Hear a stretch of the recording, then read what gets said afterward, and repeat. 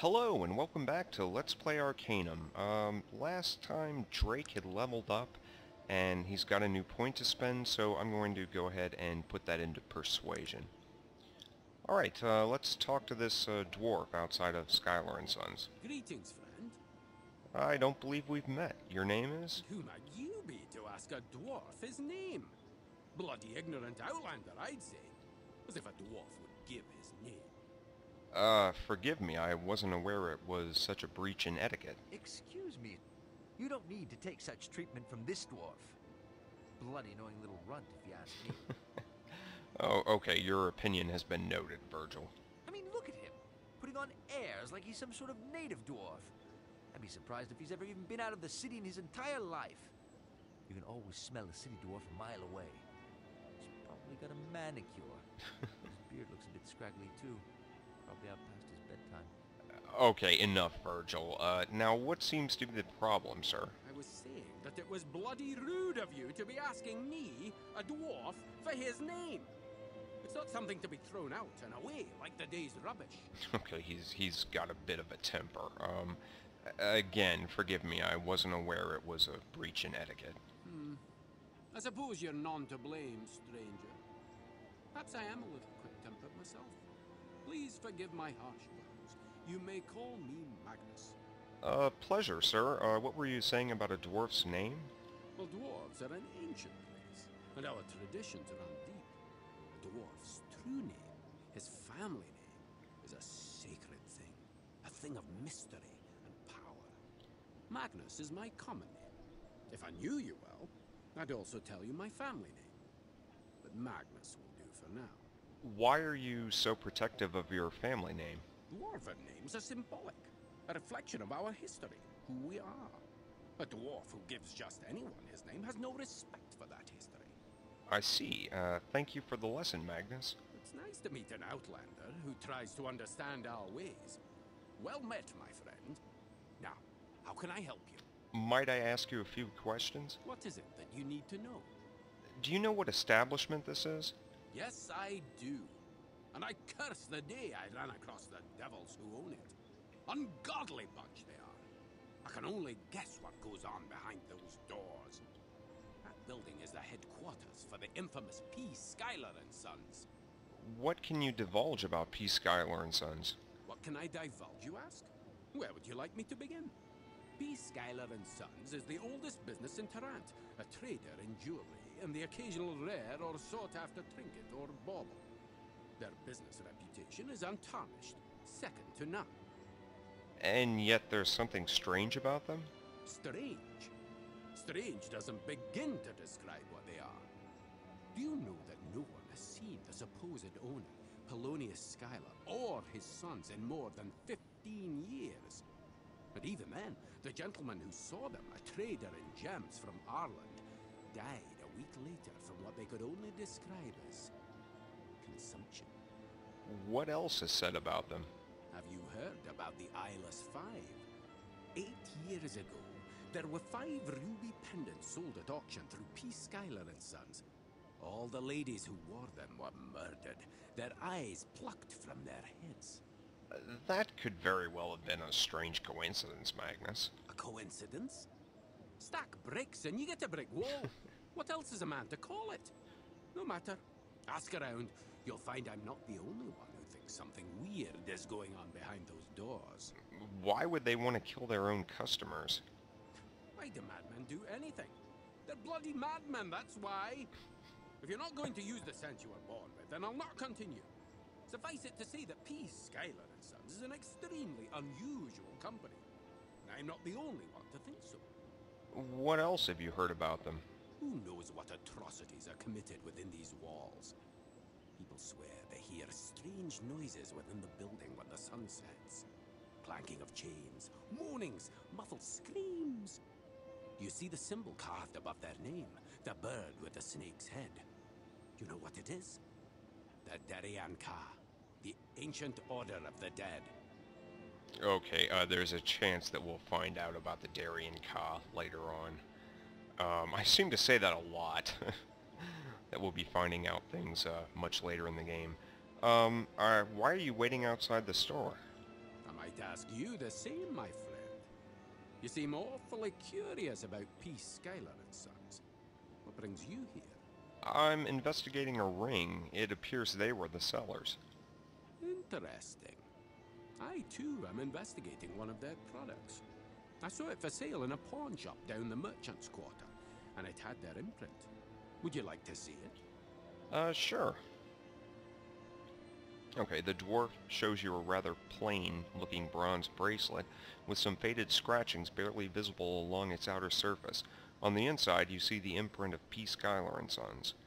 Uh, what are these carvings? I can't quite make them out. Don't you see? There, a cross. And there, a sunburst. All of these are old dwarven characters, symbols in a lost language. These are landmarks in my people's history, milestones for the dwarven age. What do you think is significant about this bracelet? Do you see these dwarven gauntlets I wear? They were given to me by my grandfather, who in turn received them from his. Do you see the symbol carved on them? It's the same as the symbol carved on the bracelet. These gauntlets are the only link I possess to my ancestors, my clan, lost to my family since before any of us can remember. Uh, have you spoken with P. Schuyler and Sons about it? That, my friend, is the point of this whole story. I've tried on multiple occasions to speak with the Schuylers concerning this bracelet and where they got it. But I've been stonewalled by their employees from the very beginning. They're hiding something. I know it! What could they be possibly trying to conceal? The sources behind their inventory, the reasons for their exclusiveness, who knows? But I do know that I am gonna find out where they got this bracelet, regardless of what is necessary to do so. Well, uh, perhaps we could work together. Hmm. Perhaps. I do see some potential in you, my friend, and you seem trustworthy. Done. Let us proceed and throw some light on this mystery. Well said. Uh, good to have you aboard, Magnus. Alright, so we've got a new follower. Uh, Magnus is like uh, Sogg Mead Mug. He's going to level up um, as a melee fighter. However, he also uh, has an affinity for technology, and the disciplines that he concentrates on are the mechanical one. He's got a couple of points in there right now, and Smithy. And uh, his second rank in Smithy is the Balanced Sword, and that's why I've been collecting these ingredients, which I've uh, stored on Mead Mug. So we want to get... Magnus doesn't have... Uh, I don't think he has a weapon right now. Yeah, he's just got these gauntlets, mysterious dwarven gauntlets, and he does have some armor, luckily. Uh, but he doesn't have a weapon, so we want to get him to make a couple of balanced uh, swords, one for Mead Mug and one for himself. So in order to get your companions to make something, you uh, just get the ingredients that you need. These are all the ingredients we'll need for two swords. And then you talk to the companion. How can I help you? Okay, uh, what sorts of things can you make for me, Magnus? Oh, no, actually, sorry.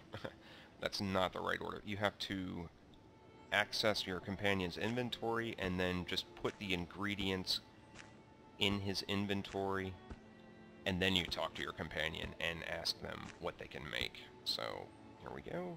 How can I help you? Okay, what can you make? And that brings you to the crafting screen. You have tabs for each of the eight technological disciplines. So if we go to the smithy tab, we see the first rank, pure ore, and then you flip to the second rank and the balanced sword. The two ingredients for the balanced sword are the, uh, the fine hilt and guard, and then pure ore. Uh, so we have no pure ore right now, but we put ingredients in to make uh, two bits of it. Okay, and then we go back, and now both are green, meaning we have both ingredients, so hit the button twice. And Magnus should have two balanced swords in his inventory. Okay, here's one, and he's already equipped the other one. And these are really, really good weapons. Um, they, these two guys who are going to be wielding them are going to attack really, really fast with them. Uh, much more effectively. Uh, Mead Mug will be a lot more effective than he was with the Rapier. And let's see if Virgil wants to use the Rapier. Okay, no, he's uh, pretty attached to his stick. Um, alright, let's, uh, now that we're newly armed, let's head in and see what we can find out about the ring. Hello, welcome to P. Schuyler & Sons, dealers in the rare and beautiful. My name is James Kingsford. How might I help you? I'd like to talk with someone concerning this ring. What exactly can I help you with? Did you purchase the ring from P. Schuyler & Sons? Not exactly. I was given the ring by, uh, someone. I'm very sorry, but we don't guarantee the quality of our products unless they were purchased directly from us. Now, if there's nothing else, I really must get back to work. No, you don't understand. Perhaps if I spoke to Mr. Schuyler? I'm afraid that's quite impossible. The Schuylers are extremely busy men, and I know they can't be bothered with something as, trivially, as trivial as your concerns with a product you didn't even buy. Wait, I just need to find out who... I'm very glad you stopped by, though. Feel free to browse the store if you'd like. Have a good day. Alright, well that didn't work out very well. Um, let's, let's talk to him again. Okay. Uh, listen, Mr. Kingsford, I recommend you let me in here. Oh, really? On what grounds do you recommend that I let you in? I'm from the Tarantian authorities. We're doing an investigation. The, the authorities? Why? I see. Well, if that's the case, I demand to see your credentials, sir. You're in no position to demand anything. Open the damn doors. Uh, look, I have nothing to do with what goes on down there. I, I just work up here, watch the front door. What exactly is going on down there, Mr. Kingsford? No, I, I can't talk about it. Th they did something to me. If I tell you, then please don't make me say anything more. Please, just take this and let me go. And he hands us the key to this door. Alright, James, you can leave. I'll take care of this. Okay, then he, he just gets the hell out of there. Alright, so we can now go in, and there's nothing up here of any interest, but there's this trapdoor over here. So let's get Mr. Drake into his combat attire, and uh, throw up Shield of Protection. Alright, let's head down. See what's in the basement. Okay, now, I want Magnus to back off, because I don't want him to take any damage. Uh, because of his technological affinity, uh, Virgil's healing spells won't work on him. Okay, and we've got it's an ancient dwarven zombies, and Magnus thinks this is some sort of dwarven burial ground. Okay, here come some more zombies.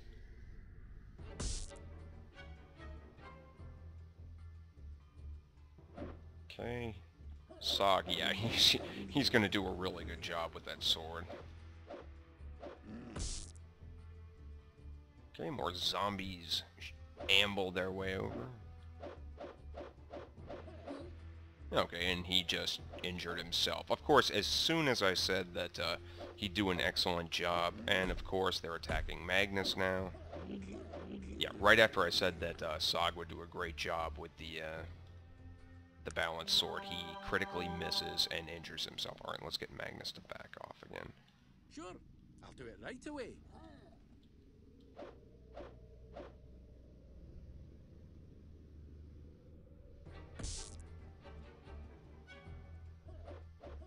Nope, Magnus, back off. Alright, well... Back off. Sure, I'll do it right away. Sometimes they, they always, uh... they won't always listen to you when you give commands. Combat's not really a, uh, a highlight of this game. okay, here's the last one. Let's see if we can get him down quickly.